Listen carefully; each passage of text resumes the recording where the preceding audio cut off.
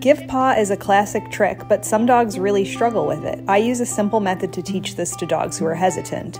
We just reach out, tickle their foot, and when they start to lift their leg, say yes and reward them. I'm reaching out, giving Lev's foot a tickle, and when he starts to step up, saying yes and then giving him a treat. Stay tuned for part two.